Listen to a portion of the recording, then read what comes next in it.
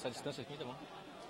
Estamos de volta ao Momento Amazônia ao vivo de Porto Velho, Rondônia, mais precisamente aqui, no campo experimental da Embrapa, onde acontece um dia de campo voltado à cadeia produtiva do leite. Nós vamos conversar agora com o Cláudio Calstri, pesquisador aqui da Embrapa Rondônia, voltado aqui também para as estações de atividade desse dia, desse dia de campo que acontece no, no, estado de Rondônia, na Embrapa Rondônia.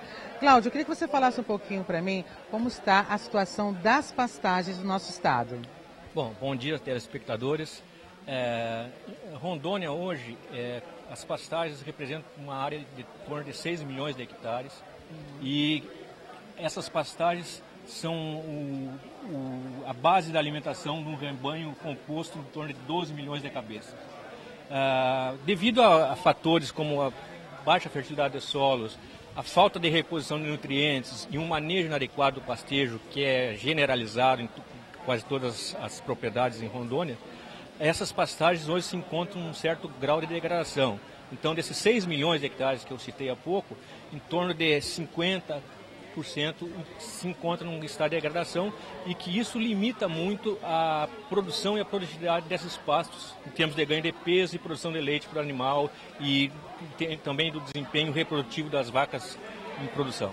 E tem como, como você é, restaurar essas áreas degradadas, fazê-las, torná-las produtivas novamente? Olha, a, nós na Embrapa e outras instituições de, de pesquisa Uh, viemos trabalhando há há um bom tempo uh, buscando tecnologias para uh, reverter esse processo.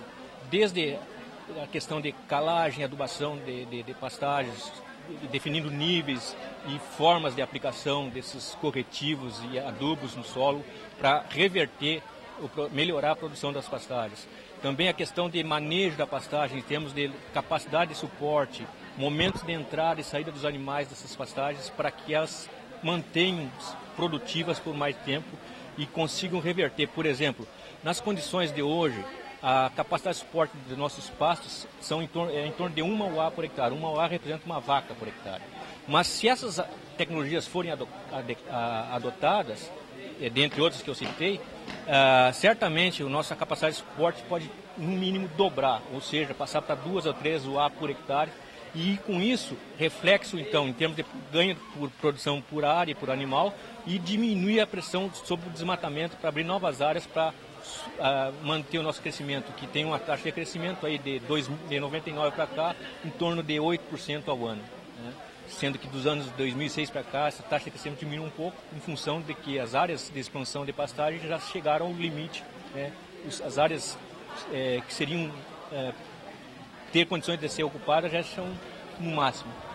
Cláudio, nós, nós estamos no estado de Rondônia, em meio à Amazônia Legal, a base da nossa economia é o agronegócio.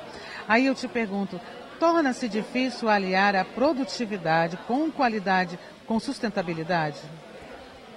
Ah, é como eu falei, hoje as nossas tecnologias que estão disponíveis é, propiciam essa, essa, essa conjunção entre aumento de produtividade e preservação do meio ambiente.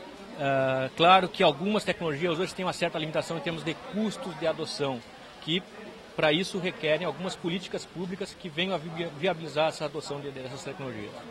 Certo.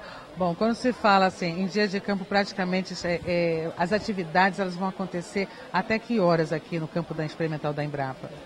É, que hoje o dia está bastante chuvoso, é, atípico. chuvoso, atípico, mas a nossa previsão, o início seria às 8 horas, com encerramento das atividades, do, do, das visitas às estações, em torno de, de 11 e meia, 12 horas. Né? E com todo esse tempo é, de chuva, enchentes, dificultando o acesso ao nosso, nosso campus mental, nós temos um público bastante significativo e desde já a gente agradece a presença desse pessoal aqui. Cláudio, quero agradecer sua participação conosco, viu? Muito obrigada por participar conosco, agradeço a sua audiência, continue ligadinho na nossa programação, envie a sua sugestão de pauta para a gente, jornalismo.rondônia.amazonsat.com.br ou reveja essa entrevista ou outro assunto de seu interesse exibido no nosso canal no youtube.com barra. Um ótimo dia para você e voltamos na próxima semana com assunto de interesse do desenvolvimento aqui da Amazônia Legal. Um ótimo dia para você. Até lá.